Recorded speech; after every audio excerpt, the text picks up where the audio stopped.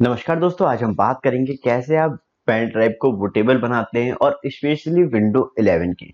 तो कोई सबसे बड़ी प्रॉब्लम लोगों को बहुत सारे लोगों को ये आती है कि आईएसओ फ़ाइल को कैसे तो हम पेन ड्राइव में लेके जाएँ। नहीं तो दुकान पे जाके 200, 300, 400, 500, हज़ार पंद्रह सौ रुपए तक भी एट लेते हैं। जैसे कि विंडो 11 दिलवाने जाते हैं आप तो अब पंद्रह सौ रुपये प्राइस सेगमेंट चल रहा है उसका। तो क्योंकि अभी नई नई है, थोड़ी दिनों के बाद पाँच सौ, छह सौ रुपये हो जाएगी।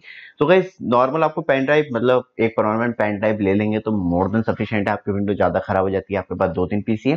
तो तीन सौ बीस रुपये की पेन ड्राइव आती है और कैसे आप विंडो 11 की आईएसओ फ़ाइल डाउनलोड कर पाएँगे तो गैस यहाँ पे आ रही है, बस यहाँ पे क्लिक करना है और आपको डाउनलोडिंग कैसे करनी है पता चल जाएगा। और दोस्तों पहले थोड़ा सा विंडो 11 इंस्टॉलेशन प्रोसेस भी समझना एक इंपॉर्टेंट रोल प्ले होता है क्योंकि मैं बुटेबल करना सिखाऊँगा इस वीडियो में ना कि आपको पूरा विंडो इंस्टॉलेशन तो यहाँ पे विंडो इंस्टॉल कैसे होगी वो लिंक आ रहा है तो आप देखते हैं बहुत ज़्यादा यूजफुल रहेगी।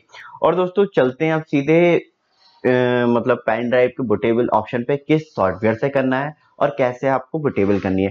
तो दोस्तों चलिए फिर सीधे चलते हैं window window 11 ISO bootable to pen drive process पे हेलो दोस्तों, आज हम सीखेंगे कैसे आप रिबूट कर सकते हैं अपनी पेन ड्राइव को नॉर्मली विंडो 11 के लिए। तो गाइस अभी जैसे कि हम जाते हैं, यहाँ पे डालते हैं रिफ्यूज तो ऐसे ही फॉलो करने आपको स्टेप आप गूगल पे डालते हैं, तब भी मैं माइक्रोसॉफ्ट बिंग का यूज़ कर रहा हूँ। तो यहाँ पे ऑफिशियल वेबसाइट दिख के आ रहा है, इसे ओपन करना है। और इसी तरीके से आपको इंटरफेस देखने के लिए मिलेगा वेबसाइट का। तो यहाँ पे हमें Rufus three point one five download कर लेना है। तो यहाँ पे हम डाउनलोड कर लेते हैं। ये डाउनलोडिंग ऑप्शन ब्राउज़र को बंद कर सकते हैं। यहाँ पे डायरेक्टली ओपन कर लेते हैं। तो जब ओपन करेंगे तो आपको इस तरीके का इंटरफेस देखने के लिए मिलेगा। हमने सोलह जीबी की पेन ड्राइव लगा रखी है। आप यहाँ पे देखेंगे तो यहाँ पे हमने सोलह जीबी पेन ड्राइव कनेक्ट कर रखी है, जिसमें हम चेक कर लेते हैं। डेटा कुछ है तो नहीं, इसमें वायरस के अलावा कुछ नहीं है। और बात करें सिस्टम मतलब जो हम बूटेबल कर सकते हैं, आपने शुरू में वीडियो देखा होगा, डाउनलोड करेंगे, तब आपको इस तरीके की आईएसओ फ़ाइल देखने के लिए मिल जाएगी। यहाँ पे लिखा हुआ है, Anand master ji, window 11 pro 64 bit जो कि एक्चुअल विंडो 11 है। तो अभी हम चेक भी कर लेंगे तो यहाँ पे इस सेटिंग को बिल्कुल नहीं छिड़ता, जैसी है। वैसे मैं बता दूँ non bootable free DOS and disk और आईएसओ फ़ाइल तो हम इसी पे सिलेक्ट करेंगे, यहाँ पे सिलेक्ट वाले ऑप्शन पे क्लिक करेंगे। उससे पहले गाइस धोखे से लोग एरो पे क्लिक कर देते तो बहुत सारे और डाउनलोडिंग ऑप्शन खुल जाते हैं। तो आपको इसमें भी विंडो 11 मिल पाएगी, मैं बता देता हूँ कैसे। तो सबसे पहले यहाँ पे वो अपने सर्वर पे जाएगा। रिफ्यूज पे ऑलरेडी सारा कुछ पड़ा होता है तो अभी तक की लेटेस्ट विंडो टेन दिखा रहा है। तो विंडो टेन पे जाएँगे और यहाँ पे लेटेस्ट अपडेट पे चले जाएँगे और विंडो होम एंड प्रो पे जाएँगे। एजुकेशन पे नहीं जाना। एंड यहाँ पे हमें लैंग्वेज सेलेक्ट करनी होती है। इसके बाद डायरेक्टली डाउनलोडिंग ऑप्शन स्टार्ट हो जाता है, जो कि हमें नहीं जाना है।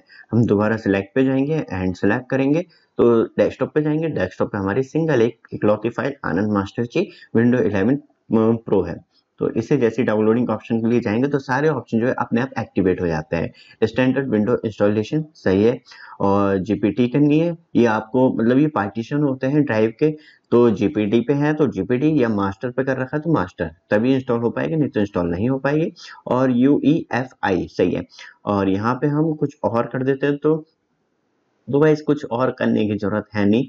बस यहाँ पे इसे हिडर ही रहने देते हैं। ज़्यादा कुछ छेड़खानी करना बेकार है। और यहाँ पे वॉल्यूम लेबल लिख आ रहा है तो इसे हम थोड़ा सा नाम को चेंज कर देते हैं। यहाँ पे लिख देते हैं ए एम जी मतलब Anand master ji window 11 and pro तो ये प्रो वर्जन है। और यहाँ पे जो एंड्राइव है डिफ़ॉल्ट ही ज़्यादा बेस्ट है, जो भी है। क्योंकि यहाँ पे मैं एन टी एफ़ एस में कर दूँगा।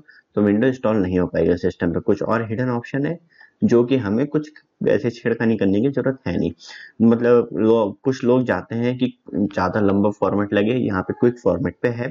यहाँ पे create extended level icon files तो यहाँ पे हम स्टार्ट करते हैं इस प्रोसेस को। तो यहाँ पे लिख के आ रहा है warning all data of device सब कुछ मतलब विल बी डिस्ट्रॉय डिलीट हो जाएगा। यहाँ पे हमने डिलीटिंग कर दी है डिलीटिंग पार्टीशन एंड क्लीन कर दिया यहाँ पे थोड़ा सा क्लीनिंग टाइम अभी ये गाइस मैं बताऊँगा यहाँ से हमारा आईएसओ कॉपी होना शुरू हो गया है।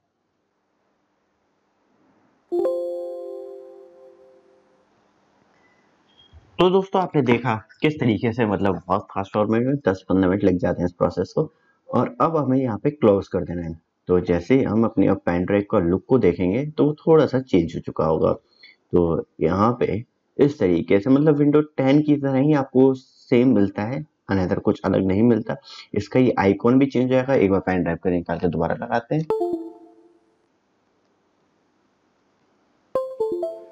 और दोस्तों, यहाँ पे इसका आइकॉन भी आपको अलग देखने के लिए मिलता है। तो इसी तरीके से दोस्तों करना है। अब इंस्टॉलेशन मैंने बताया था वीडियो में कि आपको देखना है। तो वही आप पीछे जाके दोबारा से भी देख सकते हैं, या ऊपर क्लिक करके राइट हैंड साइड पे तीन बिंदु आ रहे होंगे, उस पर क्लिक करेंगे तो आपको वो वीडियो देखने के लिए मिल जाएगी। तो दोस्तों, ये वीडियो आपको अच्छी लगे, चैनल को सब्सक्राइब, वीडियो को लाइक ज़रूर कीजिएगा। धन्यवाद।